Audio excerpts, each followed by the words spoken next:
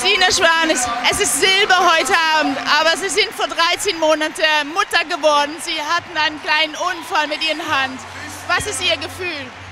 Ja, ich bin auf der einen Seite total glücklich, dass ich heute hier sein durfte, dass ich mir das wieder erarbeitet habe, dass ich hier sein konnte und den Wettkampf genießen konnte. Auf der anderen Seite natürlich etwas traurig, weil, naja, ich hatte mir ein bisschen mehr als Silber vorgenommen.